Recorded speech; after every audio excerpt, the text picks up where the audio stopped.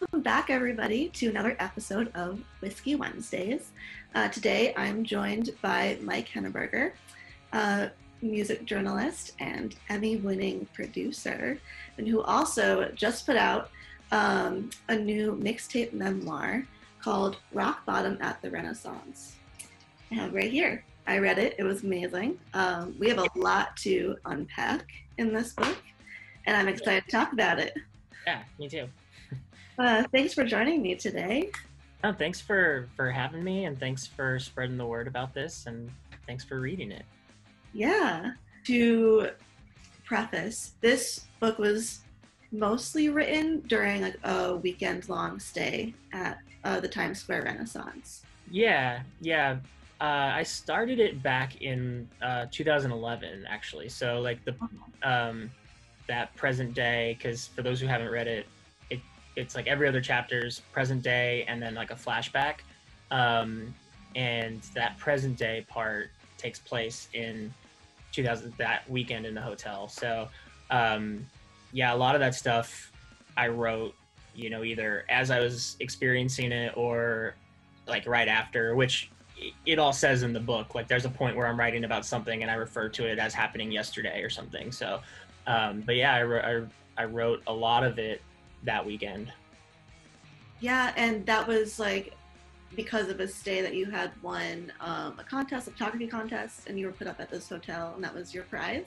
Yeah, yeah. So I've I've been doing, or I mean, it's been a while since I've done concert photography, um, but I did it for a very long time, um, and I won this concert photography contest that Live Nation and Nikon held um, back then, and uh, took with this photo of Set Your Goals um, playing Warped Tour in 2010. Nice. Uh, but yeah, so um, when I was in Texas, I where which is where I'm from. I my brother and I started a magazine where I would write music journalism stuff there, um, and every year I would cover all the tech like the three Texas Warped Tour dates. So I was just like that year um, shooting Warped Tour and got this really cool shot of Set Your Goals and yeah uh, that won and I I won a. Uh, the, the prize was um, tickets to any Live Nation concert in the in the country, um, three nights at a hotel and car and airfare too. But I was already living in New York, and so um, yeah, I just I just got tickets to go see Portishead in New York, which was awesome, and I also write about that in the book. Um, but yeah, so that, I was just, and it's crazy that like actually I always say I love doing these having these conversations because I always like realize something new about the book and I've actually never really just thought about how like if I hadn't won that contest, this book probably wouldn't exist. Um, so yeah, that's that's cool. yeah, I was gonna ask because it seemed like as you were writing, you had the intention of writing going into this weekend, um, but as you're saying, if you're not sure if that probably would have even come out from being there. Yeah, I had the intention of writing, um, and I mentioned that in the book too but I didn't know what I was gonna write. You know, like this book starts off with me walking to the hotel. Like the first chapter is me leaving work and going to the hotel for this. So like I didn't have it's not something that was in my head before because it hadn't happened yet. Um, and so I didn't know what I was gonna write. I just knew that I hadn't really I had kind of lost my focus on writing. Um, and uh, or like you know I was doing it as a job, but I wasn't doing it as like a you know passion passionately and like working on my own things. Um and so I, I felt like i needed to do that. And so yeah i was definitely like in, in intending to write. I just didn't know what was going to write what i was going to write or what was going to come out of that. Yeah. And um it it seems like a lot of the stuff you wrote while you were there is very like stream of consciousness. It's just what came out of your head at that moment. And that yeah. actually made it kind of cool to just see how you were feeling at that moment. And it, it gives you a better sense of who you are as a person as a, as a writer. And it made a lot of the other stories make more sense too. Yeah thanks. Um, yeah that's kind of like the scary part about it too is that like it's all very real and for those who haven't read about it there read it there's like a lot of um, drug abuse in it and it's you know about me struggling with my major depressive disorder and anxiety disorder, and you know when you struggle with those things, bringing in prescription drugs that you can abuse and throwing alcohol on top of that is never a good idea. And so this book is about that very bad idea. like, um, and so because of that, I mean, it, it was all very stream of consciousness. And I, um, when I left the hotel that weekend, um, I, I didn't touch that book for like over a year because of how scary and that weekend was. I didn't want to like go back into that headspace, you know. If if I, I mean, when you get into that headspace, you don't really have control of what you're doing. So I couldn't like I definitely got there again, but I wasn't like, oh, I should go back to the book and write, you know, because you're just like dealing with the shit in your head. Um, and then I didn't want to force myself to get back into that headspace to go do it. Um, but eventually, I think, I guess as I got better or as I got, you know, more healthy, um, it was easier for me to go back to it and finish it because it, it became like something different for me in that like it was something that was always important to me and just in the same as, as that weekend that I needed to focus on writing again it was my it was now the thing that like I was almost done with and I needed to get and I needed to finish you know? Um and so it, it took about a, a year um and fortunately and unfortunately I wasn't like that much healthier so I wasn't as far away from the headspace as I would have liked to have been. So it, it wasn't that difficult to to finish it. And there wasn't much left. I mean I like threw some more flashbacks and stuff in there but um, but yeah the stuff that I wrote in the hotel I really tried to not touch and not edit because I wanted people to experience what I was feeling as much as they could um so yeah the really the the most of the editing i did to it was just to like make it make sense since i wrote it hopped up on pills and booze. Yeah i i think that was definitely a good idea because people who've never experienced something like that it's it's a very um raw uh depiction of yeah and that's kind of one of the things that actually finally inspired me to put it out because even when I did finish it, I was scared to put it out because I was still dealing with a lot of that stuff myself. And um, I didn't want people around me to know how bad my head was or how messed up it was. Um, and so it really took me getting mentally healthier and then I and then reading it and feeling like I I came a long way from it. But one day like in like 2015 or 2016, I read it and I just felt like I was reading a novel about somebody else.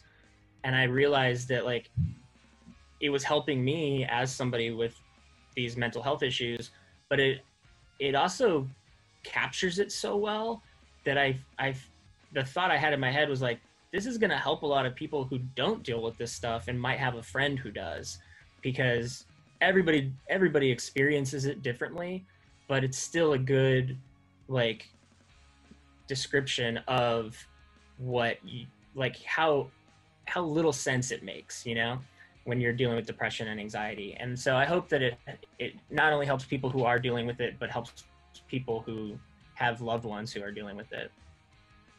Yeah i think that that's really great that you thought of that and decided to put you know your experience out there for other people to take in and uh, receive so you you sat on the book for a little bit. Yeah. And I think you just put it out a few months ago, right? Back yeah, in, it came out in it came out in June. Oh, back in June. Okay.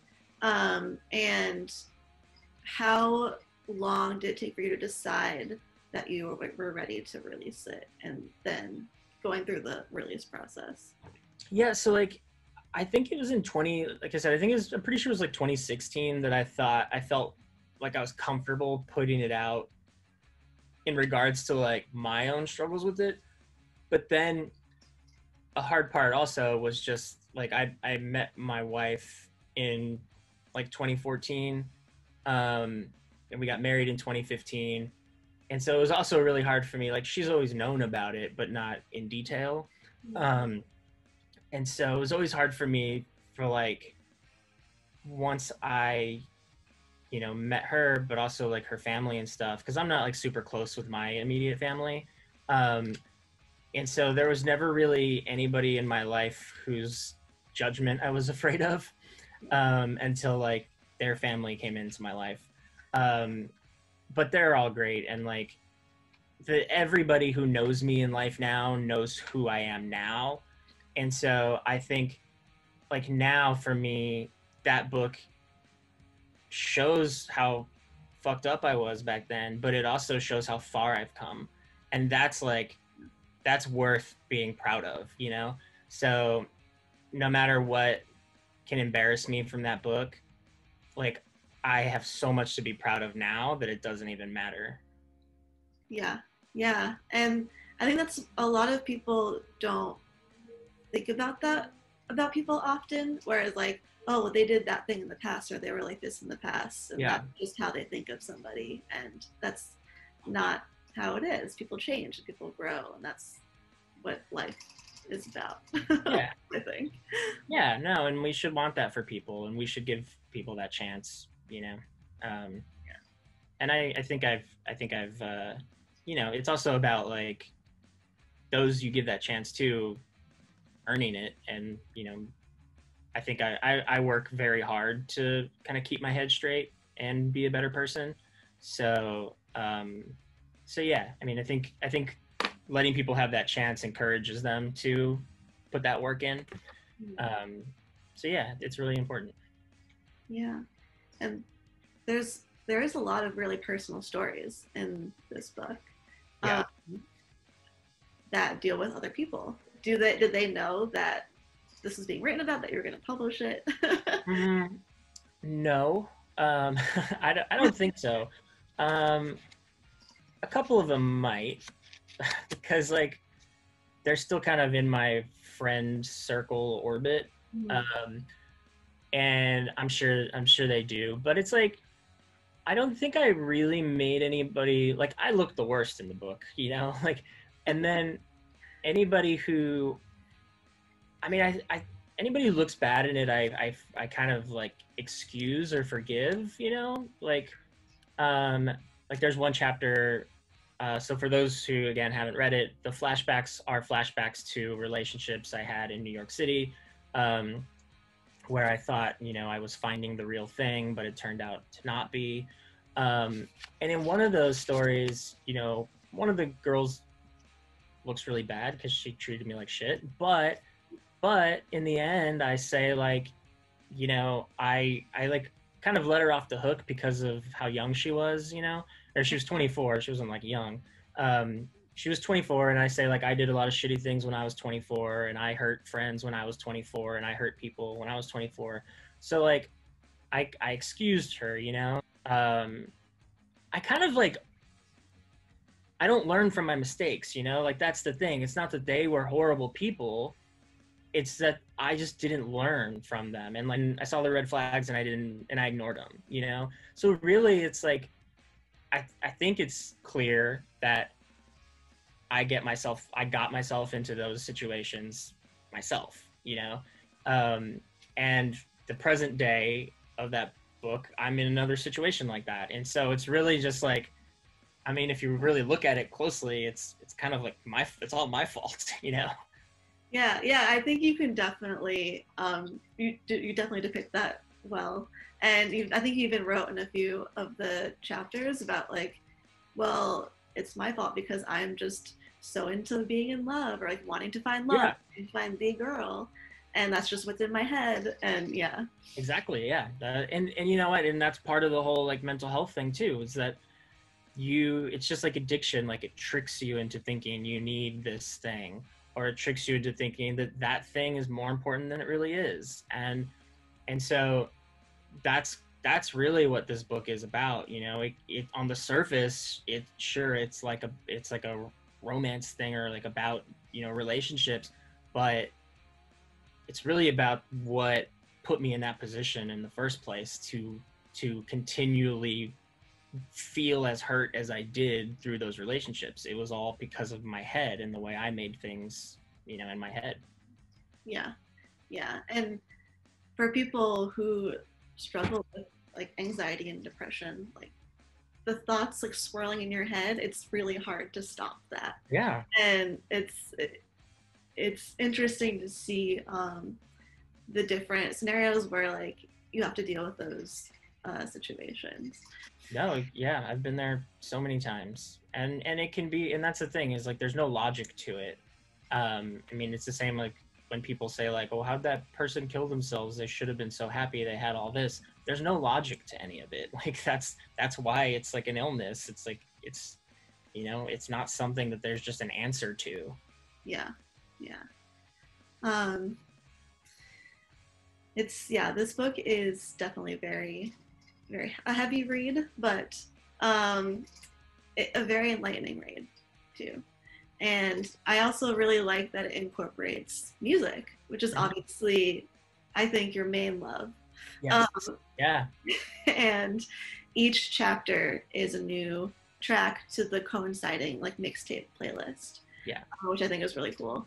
Did you um, think about that tie-in while you were writing it that weekend, or was that an afterthought? Um. It no, it wasn't. It wasn't like an af. It wasn't an afterthought. Some of the chapters came later. Like the songs came later. Um, but like like I said, like the first chapter is happening like is like me going from work to the hotel. So it's like almost real time. And the song for that chapter is Jimmy Eat World's 23 because Jimmy Eat World's 23 came on my headphones when that stuff happened, you know? And I had written in that format before. Like I did a Warped Tour review um, in like 2008, where, and it's it's kind of very similar to this format because I went with this girl that I really liked, and um, I was leaving for the army like a couple days or week, like a couple days later, um, and so it was like this like big. I made it this huge like romantic like farewell to my like civilian life and going to Warped Tour and like listening to Relient K with this girl that I like am crazy about. Um, and so I had I I actually hadn't talked about that before. Um, but I I I wrote that Warped Tour review kind of in the same format as this, and that was in 2008. And so like as I'm telling as I'm reviewing the bands that I see, but like from the perspective of that guy dealing with all those things, the like the Relient K lyrics will pop in there, or I forget like Angels and Airwaves was there that year. Um, Cobra Starship I think was there that year. I can't remember which other lyrics I like put in there, but so that same format, um, I had done that before, Mhm. and in the past when I would write essays about music, I would like interrupt the paragraphs with lyrics too. I mean, I did it a few times, and so I guess that was just like what came to me in the hotel when I was writing that first chapter. Um, because even the forward I wrote later, or the introduction I wrote later. Um, so the first thing I wrote was that Jimmy World chapter, and the song just was there, you know. Um, and then it's like Bayside chapter, Dangerous Summer chapter, and those are the two bands I always listen to when I'm like dealing with shit in my head. So they were definitely playing in the hotel when I was writing, you know, or when I was there drinking and popping pills. Um, and then, you know, the next chapter is Megan by the Smoking Popes, and it's about a girl named Megan. And then there's like a Two Door Cinema Club chapter, which takes place at a Two Door Cinema Club concert and has flashbacks to Two Door Cinema Club shows.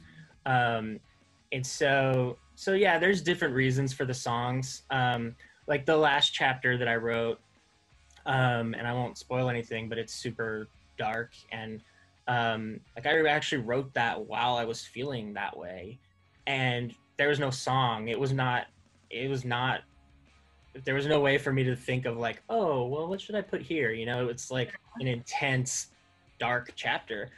But then, like as time passed, and I heard that song, uh, "I Just Want to Sell Out My Funeral" by the Wonder Years, it just captured everything I was trying to say in the book. You know, um, and so that just fit there, you know. And I had so like there there were times where that happened, like um, the the Alkaline Trio chapter two was sorry about that. Like that song just fits that scenario so much um, that it that it went in there. But like a lot of the present day chapters are dangerous summer songs because those are because that's the band I listen to when I'm like, oh, I'm actually wearing a dangerous summer shirt. um, but yeah, they're like my favorite band, and they're because the, their music's gotten me through so much. Yeah, yeah, and that's that's why I think it's a really cool idea to present it that way because I feel like a lot of people who like music, they like it because it makes them feel a certain way during a certain time. Yeah. And I personally always relate certain songs or albums to like specific years or times of my life, and yeah, just not what gets stuck in your head. Um, so it's really relatable. Yeah, cool. There, there was a part towards I think towards the end where you talked about how you had been in um, that Christian ska band mm-hmm. around like 18 to 20. Yeah. Um, and you got kicked out of the band and you didn't really know why, but you kind of knew why. Um, and you kind of mentioned that that was the catalyst for you to start like feeling these feelings of like loneliness and wanting to be loved and yeah i mean i don't i don't know if it was the catalyst for that but it was i mean it was definitely like a huge um and i think i mean i i do say that and i also say that like since like my parents got divorced you know like the the like mm-hmm. the like when my parents got divorced, I was probably like eight or something. So I mean, I was I was still a little kid and didn't really, I guess, know how to equate feelings with like emotions. And I think once you learn how to do that, that's when you get really fucked up. But um, but yeah, no, like once that that band broke up or kind of kicked me out, because what they did was they like we all had this meeting. We'd played for five years, and we had this like meeting together and decided we were gonna break up but then I found out that they were like practicing without me. Oh. And but they like started a new band and were writing new songs. So they didn't like kick me out of that band. Whatever. Um but yeah, they were like my they were like my my best friends since like 8th grade through 21 years old or 20 years old. And um you know, we went on like three tours together. We lived together. So like we were around each other all the time.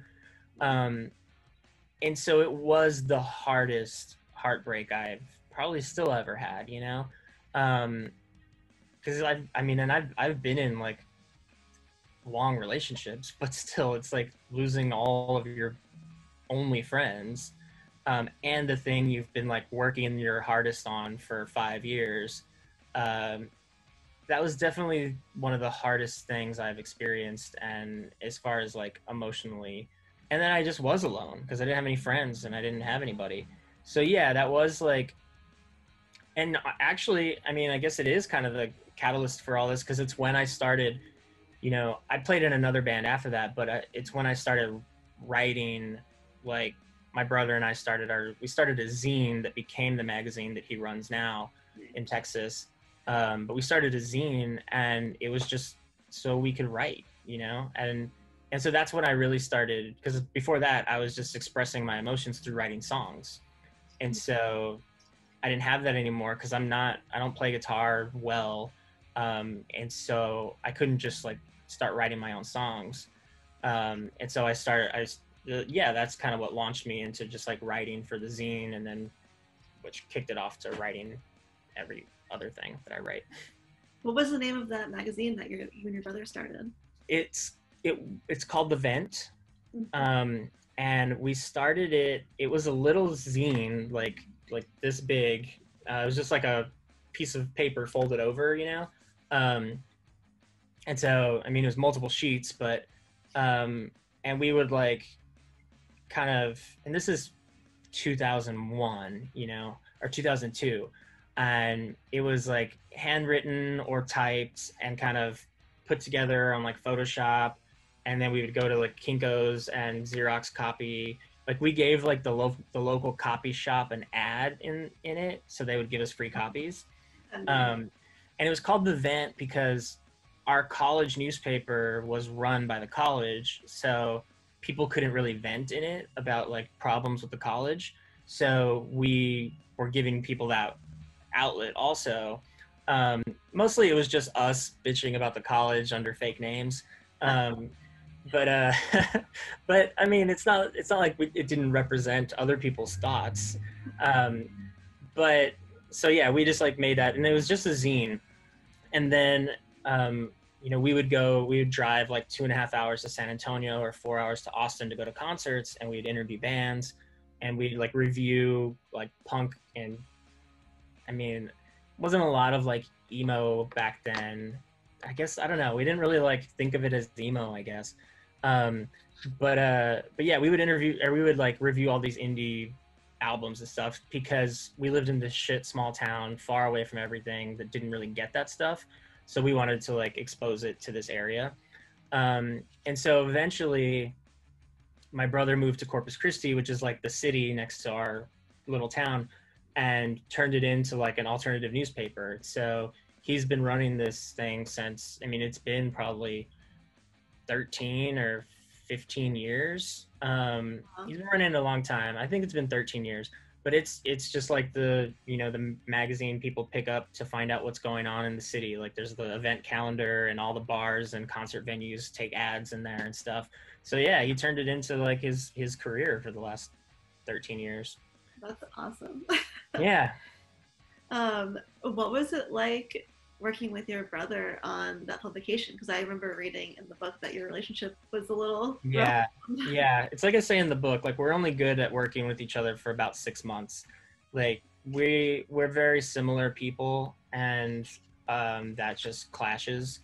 Yeah. It's a shame because we're both pretty smart and funny and creative people. And if we could work together, we might be able to do something really cool, but it's not going to happen. so this book kind of ends on a bit of a cliffhanger. Um, we don't really know, you know, what's going to happen after this weekend. We still don't know what's going to happen to the girl if you're going to ever be with the girl. Yeah. Um, I guess I never thought about that. yeah, it's like, wait, what happened to the girl? We know about the girl one, two, three, and four, but we don't know about. There's all these things that I'm like learning about this book that I feel like are it's like things people point out to me that sound right, but I didn't mean that to happen. But then I wonder if I meant to subconsciously, yeah, because it, it, it makes perfect sense, you know. And I, I now I sound crazy, but because I can't like go into detail without spoiling the book. Um, but uh, but yeah, it's like the end is kind of a cliffhanger unless you really think about what happened throughout the book. If you think about what happened throughout the book, then you know exactly what happens after that weekend, you know? Mm-hmm. And it took me a while to realize that too, because even I like thought, oh man, like what happens to this guy? And I'm that guy. but it, so once I thought about it for a while, it hit me that if you actually paid attention to what happened in the book, then you know but because I wasn't planning, because that's not what I planned, I didn't exactly make it.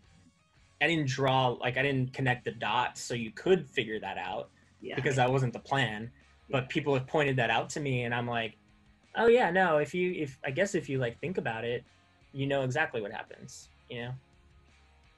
Um, do you have any plans for a follow up? You know, I never thought I was going to write a book in the first place. Um, I've written screenplays in the past, um, and I I've written a lot of like essays and stuff. Um, yeah, I never thought I was going to write a book, and I I kind of have a couple ideas for books, but I have way more ideas for screenplays, and I really want to adapt this into this, some kind of series.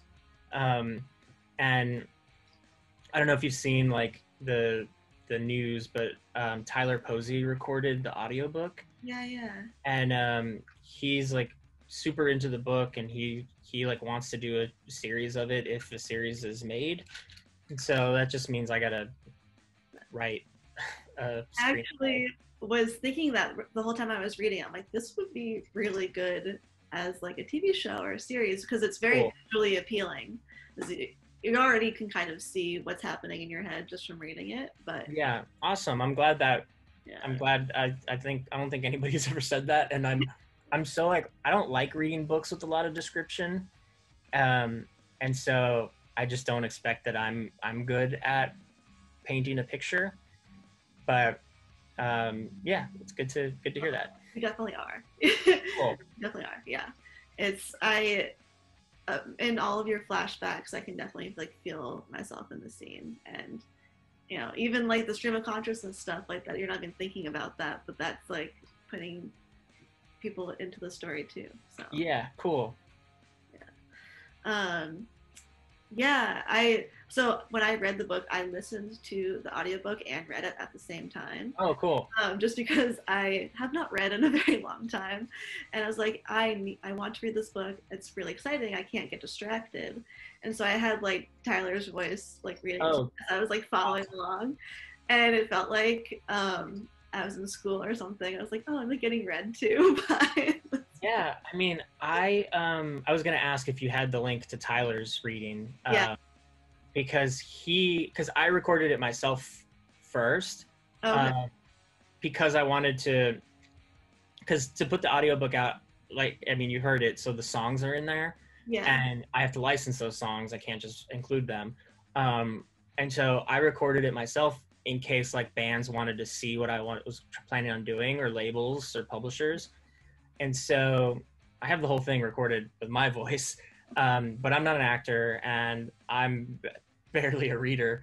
Um, it's so like it it's it's good. I mean, I it's fine, but Tyler just took it to a whole other level. Like he became the character he like performs the book and it's so great like i love i love what he did with it and i'm i'm like four songs four or five songs away from having it completely cleared um and so once those songs come through i guess it'll get released at some point um but yeah so hopefully that'll be out by the end of the month but i don't know man i'm getting some trouble from some people uh, all the bands have been cool. All the songs are cleared by all the bands or their management, but it's these goddamn label people, not label people, but publishers like Sony Publishing and Universal Publishing. Um, they're they're the ones I'm running into a little a little struggles with. But man, I've it's been so many people have been so great. Like AJ from the Dangerous Summer, like emailed Hopeless Records and asked them to let me use their music for free. So there's three Dangerous Summer songs in there. Um, Chris Carrabba from Dashboard Confessional, like I met with him and talk, told him about the book and stuff and gave him a copy. And he told me that like if I couldn't get hands down like the album version, and that's one of the songs I'm having trouble with from Universal, Yeah. that he owns two different versions of the song. He's like, you could have either one of those. And so like freaking Chris Carrabba was just like gave me a version of hands down to use for free in the book, you know? that's awesome. Um, so that's a lot of very cool things have happened with that. And so I, it's a lot of hard work, but I can't stop doing it because so many people have been so awesome about it. Yeah, I think that that's what's great about just the music community in general is that Yeah. everyone is just so willing to help each other and is really excited when like really cool and different projects like this. No, exactly. Like, I mean, I talked to some guys from uh, one of the guys from Acceptance um, because their song "So Contagious" is in there, um, and he was like, "I think Sony owns it, but I don't know if they know they own it. So you should just go ahead and use it."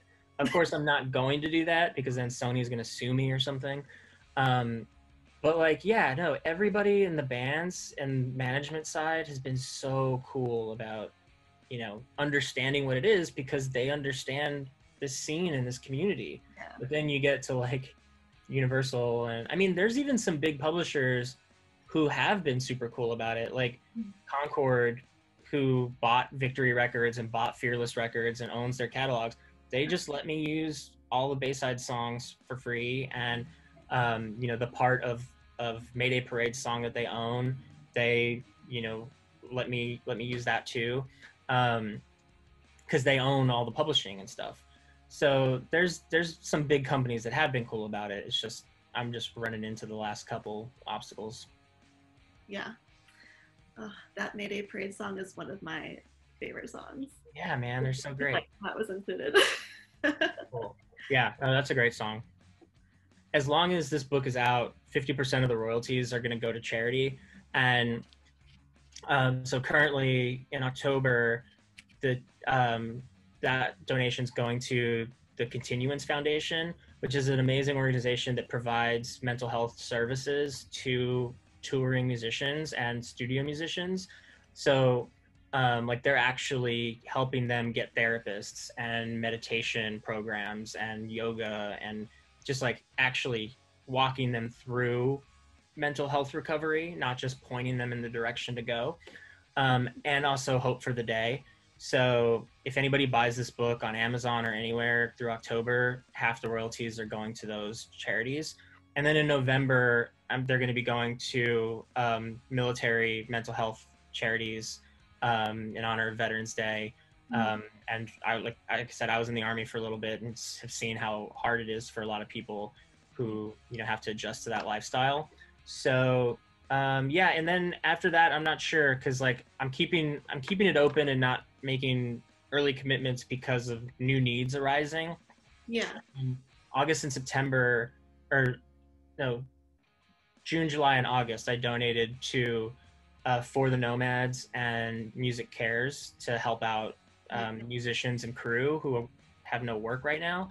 Um, and then you know George Floyd happened and all the Black Lives Matter stuff happened, and you know there, I I would have loved to have donated to, and I donated myself, but like I would have loved to donate a, a portion of the royalties to you know civil rights organizations and stuff, but they were already committed to these other organizations, so they're always going to go to charity for as long as this is around. I can't tell you who right now or anything, but it'll always be like mental health stuff or civil rights stuff, um, or you know helping out the scene like save our stages and stuff like that. So if you're if you get this book you're helping out a lot of people. Nice. Yeah that's that's great too. Um, it's helping out people just by putting out and reading it and then helping out people with like monetarily. Yeah yeah and i mean so many people need it right now too i'm i'm fortunate enough to have a full-time day job still and my wife does too so um, we can uh, we can afford to do what we can right now. Yeah, yeah, that's awesome. Well, thank you for joining me today, Mike. I really appreciated our chat. Yeah. I loved the book, and I hope other people will go out and check it out and give it a read because it's a good one. All right. No, thank you very much for talking about it. Yeah, yeah. All right. Bye, guys.